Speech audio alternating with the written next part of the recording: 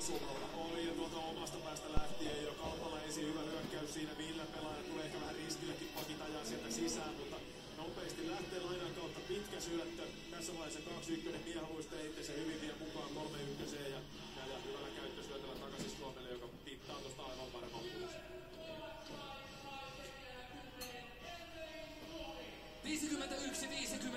51-53 Emeli Suomi syöttäjät Panu Mieho, Kalle Maalahti ja Ilves